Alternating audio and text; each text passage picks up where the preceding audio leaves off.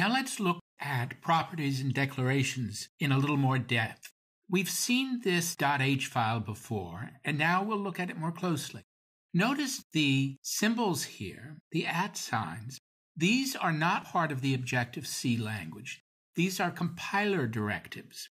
They introduce messages to the compiler that will be used to generate code that is actually compiled. You'll see, for example, here, this is the beginning of the interface section of the code, and that's the message to the compiler, and it's paired with an end. What we have here are some properties.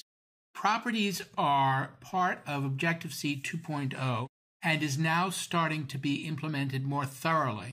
What happened in 2012 was that Xcode started flagging the non-use of Objective-C 2.0 constructs as warnings, not errors, but warnings. Until then, it was totally optional whether you used it or not.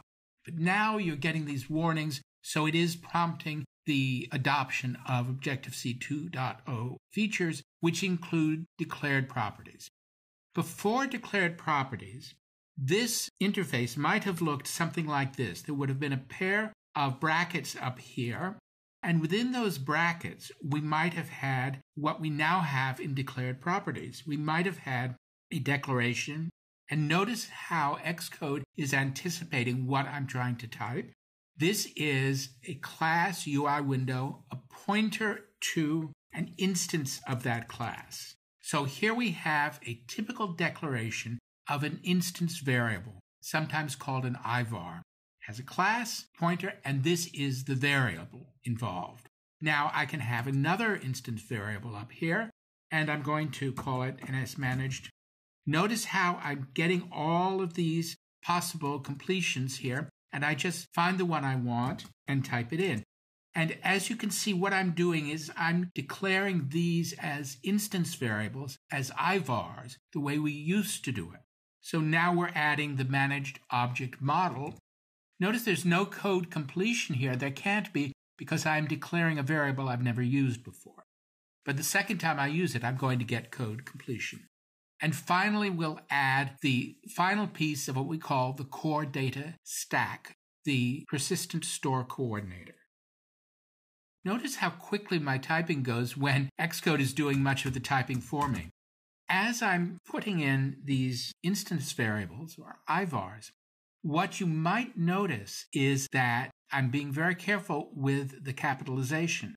And the reason that I'm being careful with the capitalization is that in Objective C, capitalization does matter, as does spelling. So this variable is not the same as this variable. The capitalization does matter.